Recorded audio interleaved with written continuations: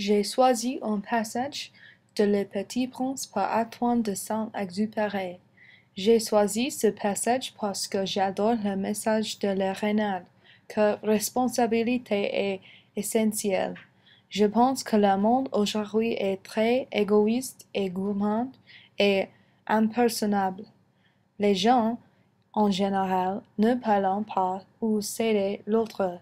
Je pense que le message de le renard et la rose est vrai, que les jeunes en général ne font pas le temps de l'apprivoiser ou apprendre à connaître l'autre. Je pense que les meilleurs amis dans la vie sont les amis qui je partage une connexion avec. Le petit prince s'en fut revoir les roses. Vous n'êtes pas du tout semblable à ma rose. Vous n'êtes rien encore, leur dit-il. Personne ne vous a apprivoisé et vous n'avez apprivoisé personne. Vous êtes comme était mon renard. Ce n'était qu'un renard semblable à cent mille autres.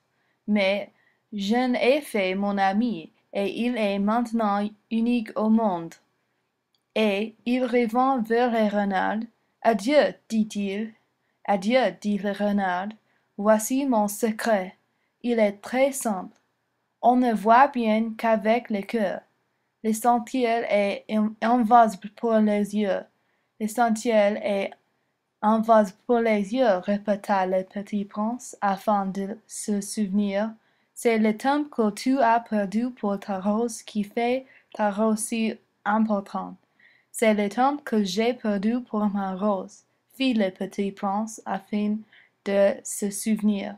Les hommes ont oublié cette vérité, dit le renard, mais tu ne dois pas l'oublier. Tu deviens responsable pour toujours de ce que tu as apprivoisé. Tu es responsable de ta rose.